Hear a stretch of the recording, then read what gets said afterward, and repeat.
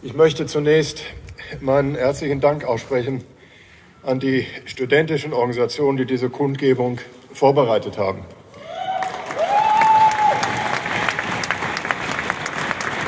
Unsere Versammlung, unsere Versammlung, zu der sich hier die Mitbürgerinnen und Mitbürger aus Konstanz und dem Landkreis und die Studierenden unserer Universität zusammengefunden haben.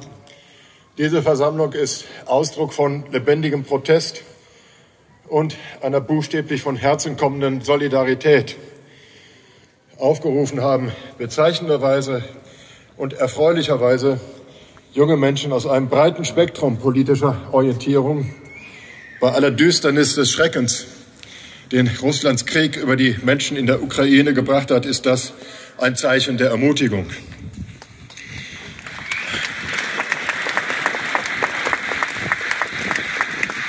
Viel, viel ist in den letzten Tagen über die Fehler namentlich der deutschen außenpolitischen Orientierung und auch der praktischen Außen- und Sicherheitspolitik gesprochen und geschrieben worden. Ich will hier ganz bewusst bei dieser Gelegenheit einen Aspekt herausgreifen, der nicht etwa nur die politischen Eliten und die Gestalter der sogenannten Geopolitik betrifft, sondern uns alle, aber insbesondere auch meine Generation. Und das mit Bezug auf die Rolle kleiner und mittlerer Staaten mitten in Europa zwischen dieser wirtschaftlich so mächtigen deutschen Bundesrepublik und dem allein durch seine territoriale Ausdehnung und den Besitz von Atomwaffen so unverrückbar mächtigen Russland. Hand aufs Herz. Wer von uns hatte bis vor kurzem eigentlich einen Begriff von und ein Interesse an den Nationen in Mittel- und Osteuropa? Machen wir uns nichts vor. Wir waren, wenn es um Osteuropa ging, fast immer nur auf Russland fixiert.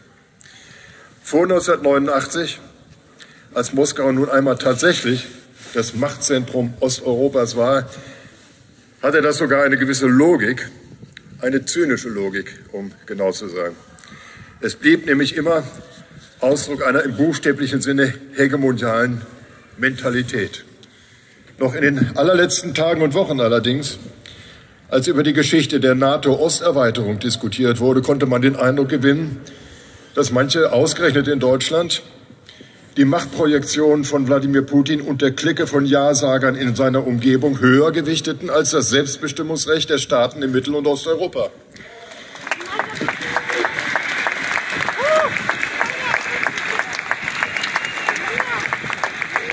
Und das, so muss man ja hinzufügen, trotz der Erfahrung des Tschetschenienkriegs Ende der 1990er Jahre, des Georgienkriegs, mit der Errichtung von Marionettenregimen Russlands in Südossetien und Abkhazien 2008 und eben mit der Annexion der Krim 2014 durch Russland, als dieses Land unter Putin zum ersten Mal seit dem Zweiten Weltkrieg in Europa wieder Grenzen unter Anwendung von Waffengewalt verändert hat.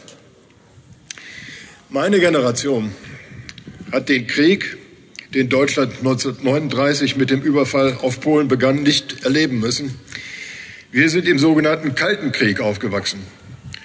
Und nicht wenige von uns, mich selbst eingeschlossen, haben sich den Luxus der Naivität und der Gleichgültigkeit geleistet. Naiv waren wir, weil wir annahmen, die Ordnung der hochgerüsteten Blockkonfrontation sei stabil, geradezu ewig. Gleichgültig waren wir, wiederum nicht alle, aber zu viele, gegenüber den Menschen, die in den Diktaturen Mittel- und Osteuropas leben mussten.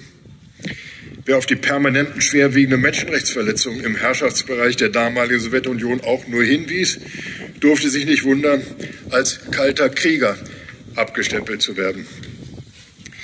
Diese Sicht der Welt, die viele von uns sich damals leisteten, war nicht nur moralisch zweifelhaft, sie war vor allem auch unrealistisch. Und das hätte man schon lange vor 1989 erkennen können, an dem, was in der damaligen Sprache Volksaufstand genannt wurde. 1953 in der DDR, 1956 in Ungarn, 1968 in der damaligen Tschechoslowakei. Auch die Verhängung des Kriegsrechts 1981 in Polen gehört in diese Reihe. Autoritäre Regime und Diktaturen sind von Hause aus instabil. Und genau deshalb verfallen sie immer wieder in eine Spirale der Gewalt nach innen und nach außen. 1989 hat sich Michail Gorbatschow dieser Gewaltspirale verweigert. Seine Generäle und ihre Handlanger, auch die in der DDR, hatten die chinesische Lösung bereits vorbereitet, also die gewaltsame Niederschlagung der Demokratiebewegung in Mittel- und Osteuropa nach dem Vorbild des Massakers vom Tiananmen-Platz vom 4. Juni 1989. In Putins Russland hat Gorbatschow für seine Klugheit einen Preis bezahlt, der aus der römischen Kaiserzeit bekannt ist als Damnatio Memoriae, die Löschung aus dem nationalen Gedächtnis. Die Logik und die absolute Skrupellosigkeit von Putins Angriffskrieg gegen die Ukraine führen uns vor Augen, dass der Rückfall in die Diktatur und damit in die Unterdrückung jeglicher Eigenständigkeit der Zivilgesellschaft über kurz oder lang nicht nur den Zusammenhalt einer Gesellschaft zerschlägt, sondern auch zur Zerschlagung einer internationalen Friedensordnung führen kann. Die mit Russlands Hilfe erfolgte Niederschlagung der Demokratiebewegung in Belarus war, wie wir nun erkennen, nur ein Vorspiel. Aber wo war unsere Solidarität mit den Menschen in Belarus? Heute sehen wir, dass auch unsere Untätigkeit einen Beitrag dazu geleistet hat, dass heute die Ukraine auch von Norden angegriffen wird, aus Belarus, wo Lukaschenko sich durch Putins Intervention nach einer manipulierten Präsidentschaftswahl an der Macht halten konnte. Die Konsequenzen für die Ukraine werden, so muss man befürchten, unsere schlimmsten Erwartungen übertreffen. Kein Zweifel kann daran bestehen, dass Putin in Kiew eine Marionettenregierung einsetzen will. Kein Zweifel auch daran, dass dies mit absolut skrupelloser Gewalt gegen jeglichen Widerstand oder auch nur Anzeichen des Protestes einhergehen wird. Aber Naivität und Gleichgültigkeit sind nun endgültig keine Option mehr. Kundgebungen wie diese entfalten sich in diesen Tagen mit großer Kraft, aber sie können nur der Anfang sein. Jetzt kommt es auf nachhaltige Unterstützung der Menschen in der Ukraine an, mit allen uns zur Verfügung stehenden friedlichen Mitteln, mit unseren Netzwerken, mit unseren Freundschaften mit Ukrainerinnen und Ukrainern, aber, das möchte ich betonen, auch mit denjenigen Russinnen und Russen, die unter uns leben und die ganz überwiegend beschämt sind durch das, was der Diktator im Kreml unter Missbrauch des guten Namens der russischen Nation an Verbrechen verübt.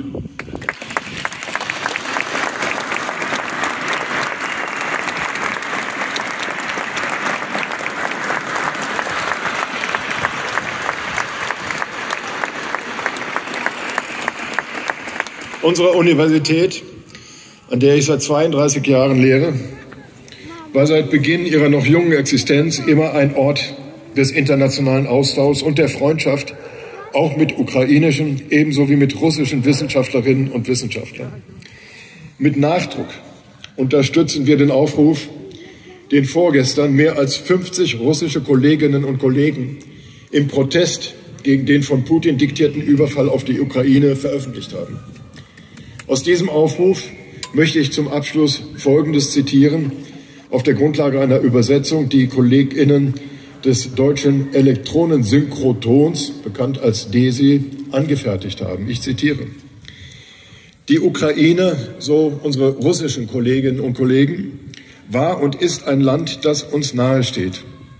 Viele von uns haben Verwandte, Freunde und Kollegen in der Ukraine. Unsere Väter, Großväter und Urgroßväter haben gemeinsam gegen den Nationalsozialismus gekämpft. Die Entfesselung des Krieges für die geopolitischen Ambitionen der russischen Führung, getrieben von zweifelhaften geschichtspolitischen Fantasien, ist ein zynischer Verrat an ihrem Vermächtnis. Wir respektieren die ukrainische Staatlichkeit, die sich auf funktionierende demokratische Institutionen stützt. Wir haben Verständnis für die proeuropäische Entscheidung unserer Nachbarn. Wir sind überzeugt, dass alle Probleme in den Beziehungen zwischen unseren Ländern friedlich gelöst werden können. Durch die Entfesselung des Krieges hat sich Russland selbst zur internationalen Isolation, zur Position eines Paria-Staates verurteilt. Wir fordern die sofortige Einstellung aller Militäraktionen gegen die Ukraine.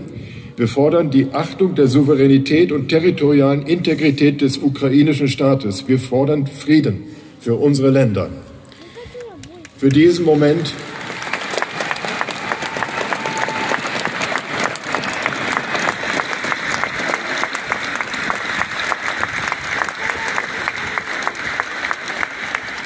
Ich möchte dem, liebe Mitbürgerinnen und Mitbürger, liebe Kommilitonen und Kommilitonen, an dieser Stelle ausdrücklich nichts hinzufügen. Ich danke für Ihre Aufmerksamkeit.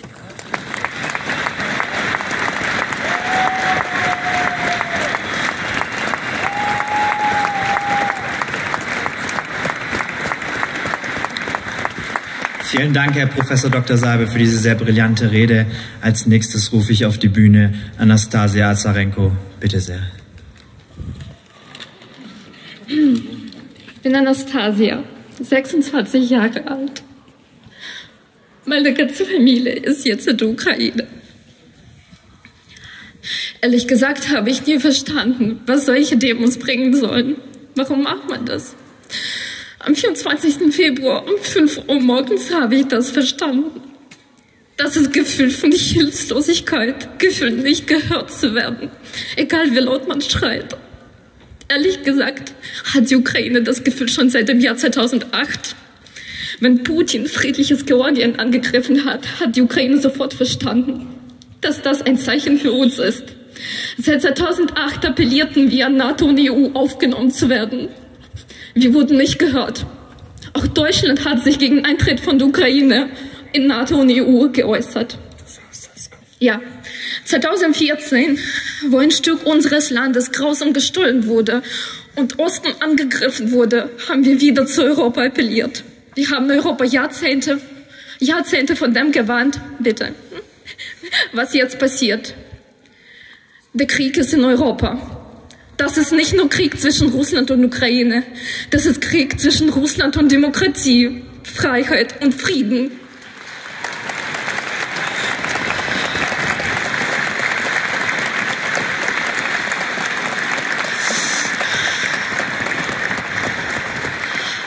Laut Nachrichten, Kommentaren und sozialen Werken, äh, Netzwerken musste der Krieg schon am 24. für die Ukraine vorbei sein.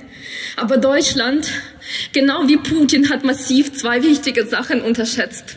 Ukrainische Armee und ukrainisches Volk. Und wir sind richtig sauer. Unser Volk, unser Volk bezeichnet sich durch, dadurch, dass wir uns untereinander streiten können. Aber wenn es um unser Land geht, sind wir ein unzerbrechliches Eins. Und wir verteidigen uns erfolgreich schon seit mehr als 50 Stunden. Und das gegen eine der stärksten Armeen der Welt. Ich hoffe, dass die Welt langsam aufwacht und versteht, dass wir alle in Gefahr sind und alles tut, um, dieses, um diesen Verrückten, Verrückten zu stoppen. Diesen verrückten Lügner, der heute sagt, dass die Ukraine niemals angreifen wird und morgen es einfach tut der sagt, dass er nicht auf Zivilisten schießt, aber jeden Tag Wohnhäuser, Krankenhäuser und Krankenwegen beschießt. Die Welt darf Putin niemals wieder glauben.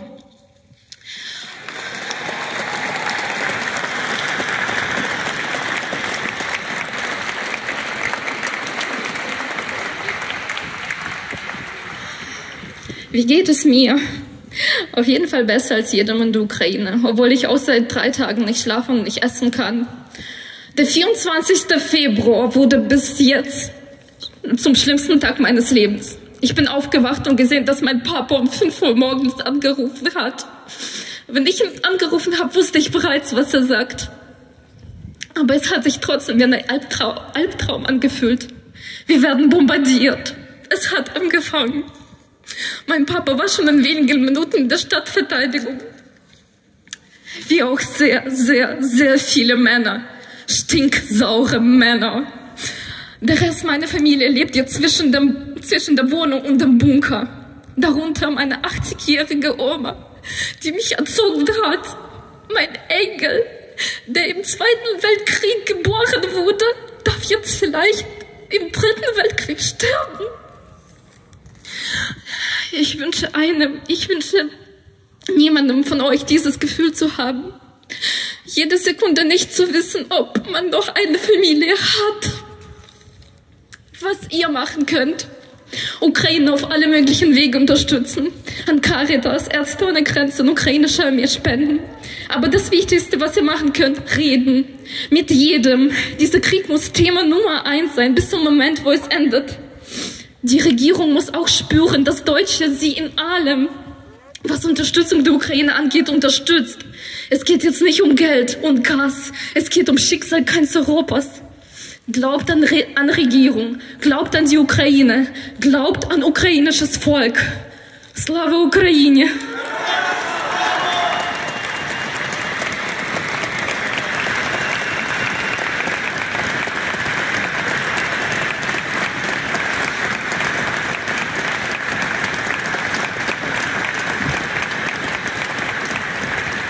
Vielen Dank, Anastasia. Ich denke, ganz Konstanz fühlt mit dir. Wir fühlen deinen Schmerz und wir können das gut, sehr gut verstehen, wie du dich gerade fühlst.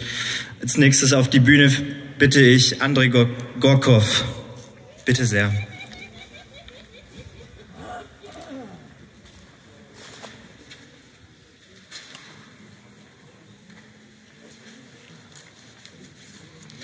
Слава Україні! Ich bin André. Seit zehn Monaten studiere ich Finanzmathe in dieser wunderschönen Stadt. Und wie alle, die heute hier stehen, bin ich in meinem Leben durch viele Schwierigkeiten gegangen. Als Beispiel, im 2014 haben die russischen Soldaten meine Heimatstadt okkupiert. Für uns war das unvorstellbar. Wir waren natürlich dafür nicht bereit. Und wie kann man dafür bereit sein? Meine Familie, meine Freunde, meine Verwandte, wir haben unsere Häuser verlassen. Aber nicht nur Häuser, wir haben das Leben verlassen, das Leben, was wir hatten. Und in diesem Krieg haben wir, haben wir bezahlt, wir haben bezahlt mit Leben. 15.000 Menschen in diesem Krieg in der Ostukraine sind gestorben. Man redet nicht darüber, aber das ist die Wahrheit. Wir Ukrainer, wir haben schon 15.000 Menschen verloren in diesem Krieg. Eineinhalb, eineinhalb Millionen Menschen sind Flüchtlinge geworden. In der Ukraine haben wir gedacht, dass unser Preis groß genug, aber in Moskau, der Putin hat eine andere Meinung gehabt. Und wie wir alle wissen, am Donnerstag hat er ein neuer Krieg gegen ukrainische Volk begonnen. Und als Grund, man muss natürlich russischsprachige Ukrainer schützen. Ich bin ein russischsprachiger Ukrainer. Im Alltag spreche ich Russisch. Ja, ich kann natürlich Ukrainisch. Ja, das stimmt. Niemand, niemals hat mir irgendwann gesagt, dass nur weil ich Russisch rede, soll ich mich under, underestimated fühlen. Ja, Entschuldigung, kann gerade kein deutsches Wort dafür, dafür finden. Niemals. In der Ukraine. Wir sind offen für alle Menschen, für alle Religionen, für alle Nationen. Es gibt sowas nicht. Und natürlich, was man in Russland hören kann, dass also man muss jemanden schützen, das ist natürlich, das, das, das, ist ein, das ist nicht die Wahrheit. Ich bekomme die Anrufe von meinen Freunden aus ganzer Ukraine. Natürlich kennt ihr diese, Stadt, diese Städte wie Ivano-Frankivsk, Lutsk, Irpin, Kharkiv. Aber diese Städte kenne ich ganz gut und wenn ich höre, was die erzählen, wenn ich höre, wenn die sagen, wir fühlen, dass wir allein sind. Ich sage nein, die Ukraine ist nicht allein und wenn ich jetzt hier stehe, da sehe ich,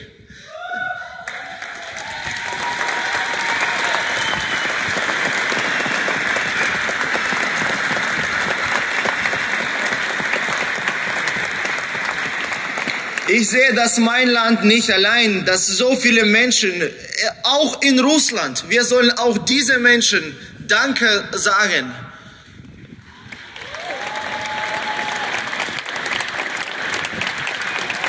Die unterstützen Frieden, die unterstützen Frieden in der Ukraine und in Europa.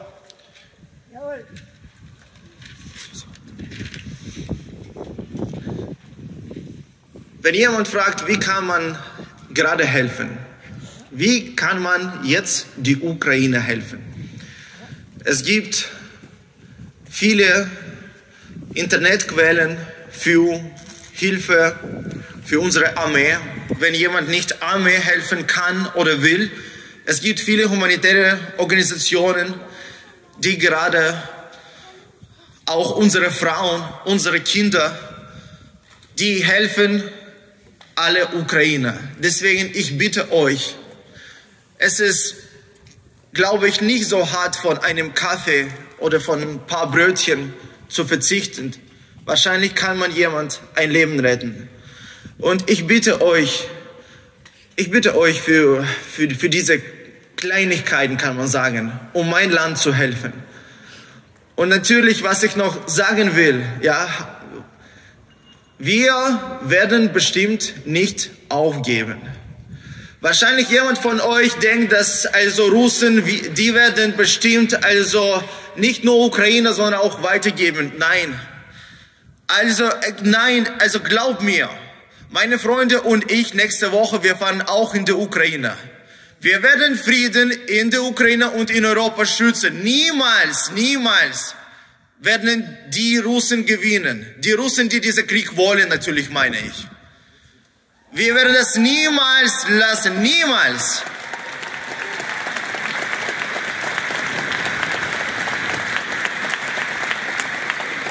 Wir schützen und wir werden schützen Frieden in der Ukraine und Frieden in Europa, damit die Kinder von uns alle die Zukunft haben.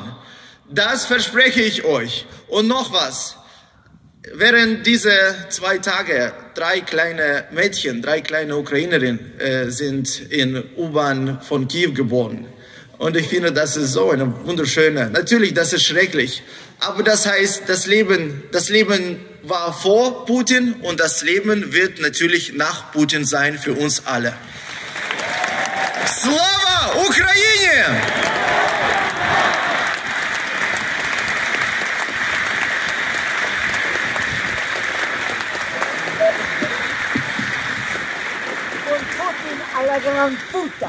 Vielen Dank, Andrei Gorkov, für diese wunderschöne Rede. Als nächstes auf die Bühne bitte ich Tom Schneider.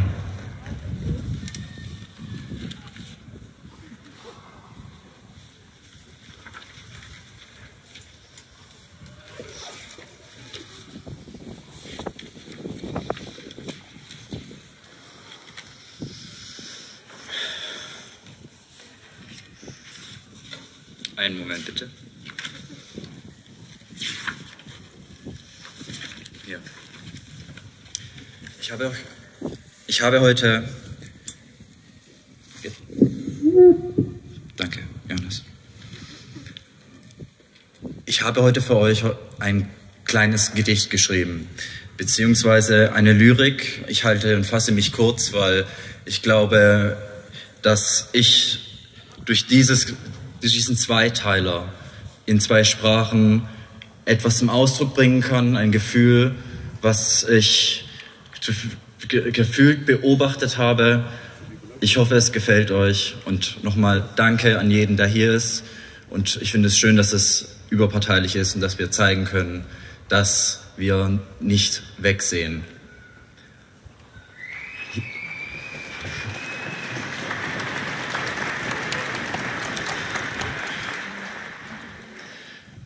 Hier stehe ich. Ich konnte nicht anders. Anders als sonstige Themen, die schnell vorübergehen, geht es mir heute unter die Haut. Hautnah ist dieser Krieg, von dem wir dachten, es sei in Europa besiegt. Jahrelang brüchiger Frieden, fielen wir zurück in alte Themen. Dann kam uns Corona entgegen. Ließen wir Putin gewähren, verwehrten Wehrlosen Waffenhilfe, hoffnungslose Hilferufe, hilft nun kein Reden mehr. Mehr noch sind wir Passanten geworden. Geborgen in unserer heilen Welt hält uns die Feigheit zurück, mischen uns nicht ein, lassen die Ukraine allein. Teilt sich die Welt in ein neues Ost-West. Gefestigte Diktatoren und Zaren, die sich, die in sich den Geist der Vergangenheit offenbaren. Offensichtlich wird es langsam ersichtlich. Den Fehler, den wir wiederholt haben, will ich auf Englisch jetzt offenbaren.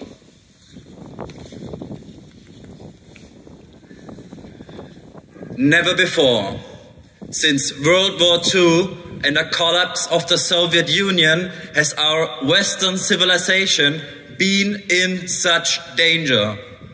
Putin, self declared Tsar of Russia with Stalinist characteristics, made it clear that he does not only want to dominate all life and thought in his own country, but to also dominate all life and thought in his neighboring countries. And then to enslave those countries and use those resources to dominate the world with Xi Jinping. We cannot escape danger by crawling into bed and putting the covers over our heads. Ukraine, now fighting for its life, together with the Taiwanese democracy, is the stronghold. This is where we have to make our stand in this decade as the Western world, as Germany, and it's a decision we all have to make if we want to make this stand or we don't. The experience of the last six years have proven beyond doubt that no nation in Europe can appease Putin. No man can tame a tiger into a kitten by stroking it. There can be no appeasement with ruthlessness. There can be no reasoning with a maniac czar.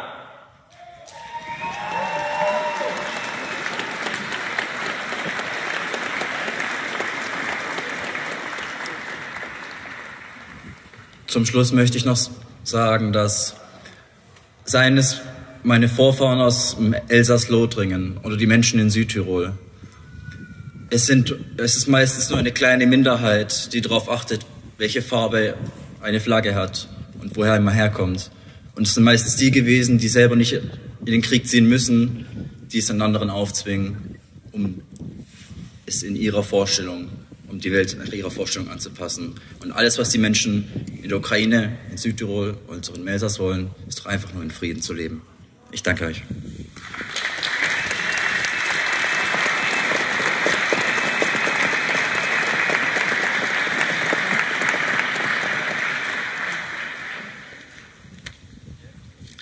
Vielen Dank, Tom Schneider, für diesen lyrisch-philosophischen Beitrag. Als nächstes auf die Bühne rufe ich Anna Salabay.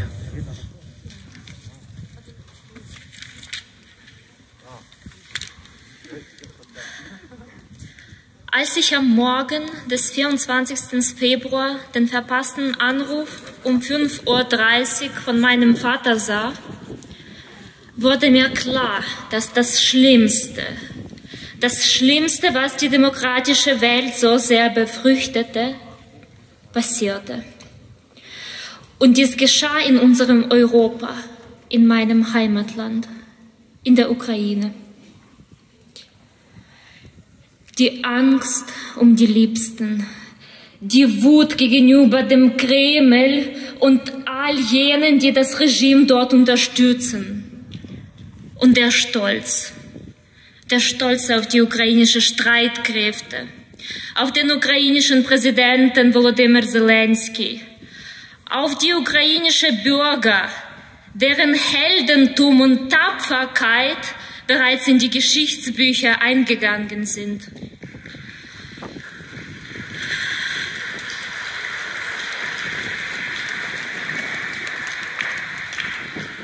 All das sind die Gefühle, die mich in diesen Tagen, in den Tagen des unmenschlichen, aggressiven und widerrechtlichen Krieges überfühlen. Ich weiß, dass wir gewinnen werden. Ich weiß, dass wir unsere Freiheit und unsere Werte verteidigen werden. Dafür spricht der extreme Zusammenhalt der Ukrainer. Die Männer sammeln sich in die Kommunen der äh, territorialen Verteidigung. Riesige Schlangen von Menschen stehen zur Blutspende an. Freiwillige bereiten Molotow-Cocktails vor. Die ukrainischen Streitkräfte machen das Unglaubliche zur Realität.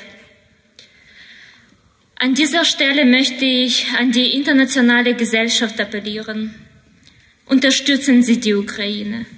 Helfen Sie den Menschen durch humanitäre Hilfe. Schutz des Luftraums der Ukraine durch Abwehrraketen, Spenden an die ukrainische Armee, ein Verbot und ein Blockieren der russischen Propagandasender in Europa.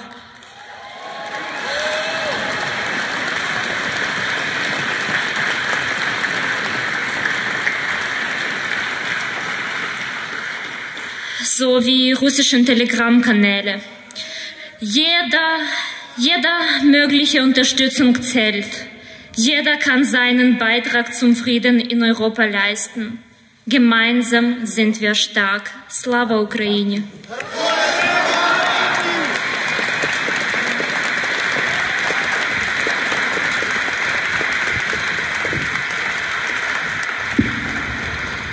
Vielen Dank, Anna Salabay, für diesen sehr bewegenden Beitrag. Als nächstes auf die Bühne bitte ich Alessia Invernizi und Dirk Kirsten.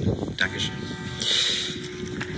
Und ich kann noch ankündigen, dass wir bald mit den Redebeiträgen durch sind und äh, zur Schweigeminute übergehen. Diejenigen, die eine Kerze mitgebracht haben, sollten diese dann auch demnächst bereithalten. Vielen Dank.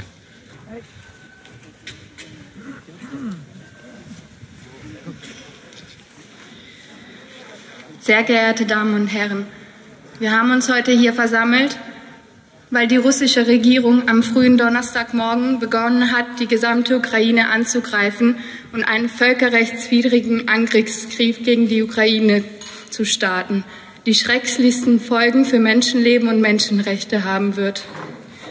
Angesichts der Missachtung des Völkerrechts durch russische Truppen an anderen Schauplätzen in den letzten Jahren, die allesamt strafbar blieben, sind wir von Amnesty International äußerst besorgt, dass sich die Geschichte hier wiederholt. In 2015 wurden zum Beispiel in Syrien bei einer Reihe russischer Luftangriffe auf Wohngebiete mindestens 200 Zivilpersonen getötet. Dies ist ein Kriegsverbrechen, denn auch in militärischen Konflikten muss die Zivilbevölkerung geschützt werden. Im Jahr 2020 in Syrien, im Jahr, haben in Syrien russische Flugzeuge sowohl Schulen als auch Krankenhäuser angegriffen. Dies ist ein Kriegsverbrechen, denn Schulen und Krankenhäuser sind auch in militärischen Konflikten nie anzugreifen. In schon zuvor andauernden Konflikt in der Ostukraine haben die von Russland unterstützten Separatisten unpräzise explosive Waffen in dicht besiedelte zivilen Gebieten eingesetzt. Dabei stationierten sie diese Waffen auch in Häusern und ziviler Infrastruktur und feuerten sie von dort aus ab. Dies ist ein Kriegsverbrechen, denn auch in militärischen Konflikten darf die Zivilbevölkerung nicht als menschliches Schutzschild verwendet werden. Die Geschichte der militärischen Intervention des Kremls ist von einer eklatanten Missachtung der humanitären Völkerrechts geprägt. Die russischen Streitkräfte haben wahllos Angriffe durchgeführt, verbotene Waffen eingesetzt und manchmal offenbar absichtlich Zivilpersonen und zivile Objekte angegriffen. All dies ist ein Kriegsverbrechen. Insofern kommt es leider nicht überraschend, dass MitarbeiterInnen von Amnesty International leider schon innerhalb dieser wenigen Kriegstagen zahlreiche Kriegsverbrechen der russischen Armee dokumentierten. Amnesty International hat gestern drei Vorfälle dokumentiert, bei denen mindestens sechs Zivilpersonen getötet und mindestens zwölf weitere Menschen verletzt wurden, in dem wahllos Wohngebiete und Objekte wie Krankenhäuser angegriffen wurden von russischen Truppen. Dies ist ein Kriegsverbrechen. Doch.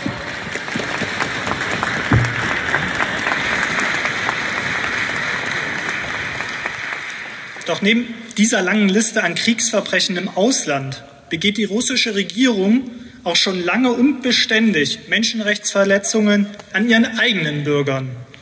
So wurde beispielsweise Alexander Gabischew willkürlich für psychisch krank erklärt und in die Psychiatrie zwangseingewiesen, weil er Kritik an Präsident Putin übte. Die Künstlerin Julia Zvetkova hat Bilder von gleichgeschlechtlichen Paaren angefertigt. Ihr drohen daher gerade wegen des willkürlichen Vorwurfs der Herstellung und Verbreitung von Pornografie sechs Jahre Haft. Mikhail Lazowetsch hat friedlich sein Recht auf Meinungs- und Vereinigungsfreiheit wahrgenommen und steht deshalb seit dem 29. Dezember wegen der Zusammenarbeit mit einer unerwünschten Organisation vor Gericht. Der russische Oppositionspolitiker Alexei Nawalny ist seit über einem Jahr rechtswidrig inhaftiert. Auch seine Mitarbeiterin Lilia Tschanicheva sitzt momentan wegen dem politisch motivierten Vorwurf der Gründung oder Leitung einer extremistischen Vereinigung in Haft. Ihr drohen bis zu zehn Jahre Gefängnis. In den letzten Tagen sind mutige Menschen in Russland auf die Straße gegangen, um sich mit der Ukraine zu solidarisieren und gegen Putins Angriffskrieg zu demonstrieren. Trotz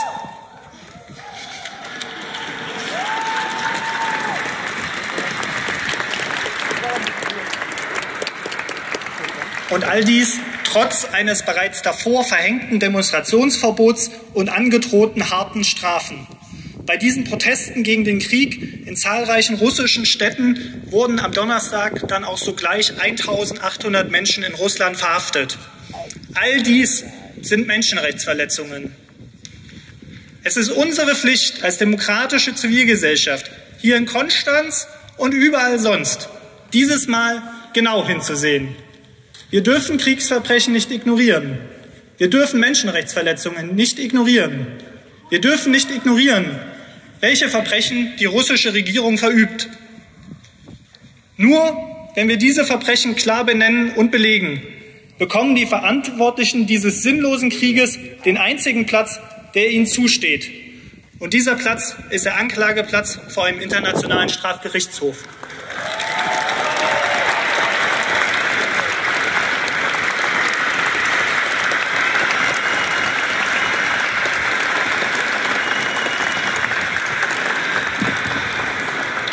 Vielen Dank, Alesia Invernizi und Dark Kirsten, für das Anprangern dieser Menschenrechtsvergehen von Russland.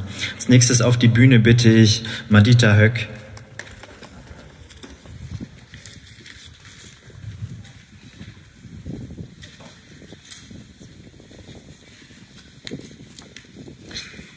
Ich habe auch einen kleinen lyrischen Beitrag dabei. Der Abstand zwischen Berlin und Rom ist ungefähr genauso groß wie der zwischen Berlin und Kiew. Generation friedliches Europa ist nun Geschichte.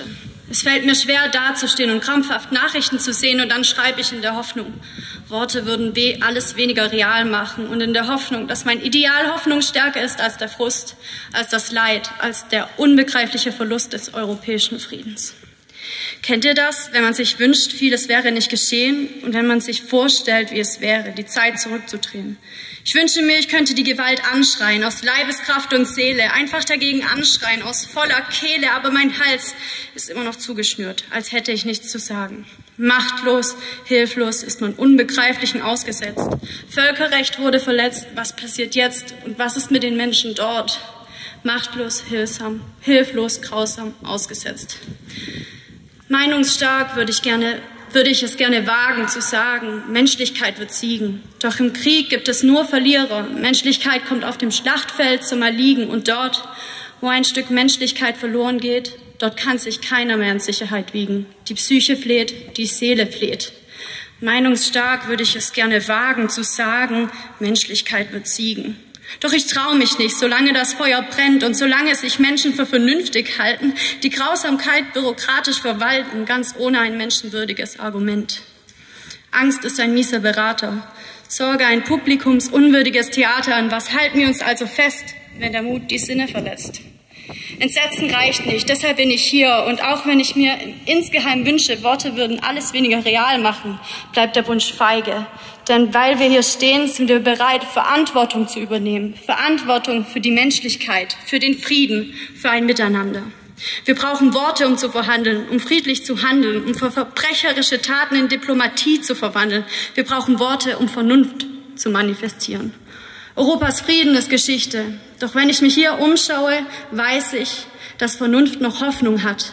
Und deshalb sage ich überzeugt, hoffnungsvoll und meinungsstark, der Friede ist das Meisterwerk der Vernunft. Danke.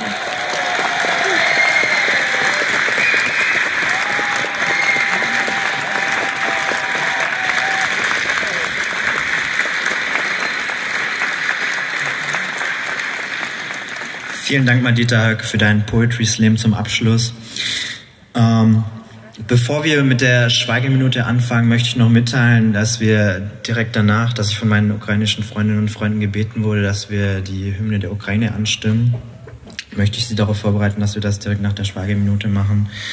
Ähm, aber ansonsten würde ich dann jetzt die Schweigeminute einleiten und ich möchte darum bitten, möglichst ruhig zu bleiben, damit wir einen kraftvollen Moment hier auf dem Münsterplatz ermöglichen. Und deswegen bitte ich um absolute Ruhe jetzt.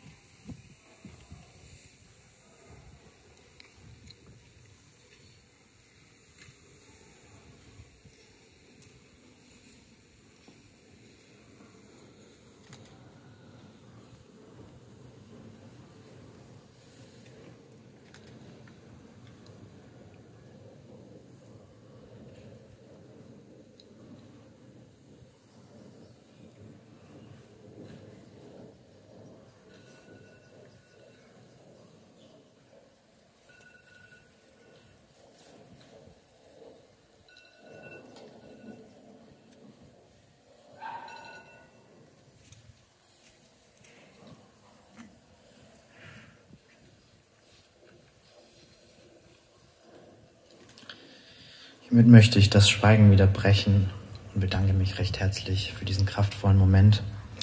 Wir haben heute aus Konstanz unsere Solidarität mit der Ukraine gezeigt, das völkerrechtswidrige Vergehen Russlands verurteilt und für den Frieden geworben. Ich bedanke mich hiermit recht herzlich dafür bei allen Rednerinnen und Rednern für ihre tollen Wortbeiträge, äh, bei all denjenigen, die bei der Organisation geholfen haben, hier insbesondere zu erwähnen Herrn Oberbürgermeister Burkhardt und die Stadt Konstanz, Herrn Crivellari, Herrn Rhein äh, von der Firma A2R und die Münsterpfarrerei.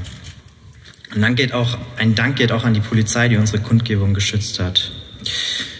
Und zu guter Letzt natürlich auch ein herzliches Dank an alle, die heute zu dieser Kundgebung gekommen sind. Vielen Dank. Konstanz ist solidarisch mit der Ukraine und deswegen bitte ich meine ukrainischen Freundinnen und Freunde, die Hymne anzustimmen. Bitte sehr, ihr habt die Bühne.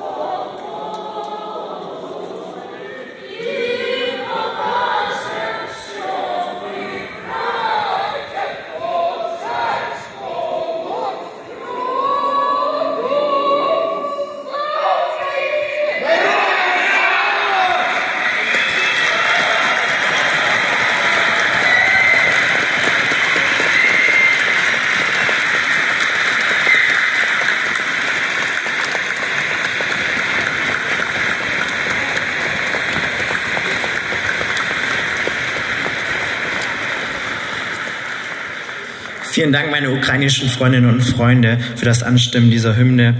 Ich werde die Versammlung jetzt gleich beenden. Allerdings wurde ich noch gebeten, auf äh, einige Veranstaltungen und Spendenaufrufe hinzuweisen. So wird, ähm, einen Moment.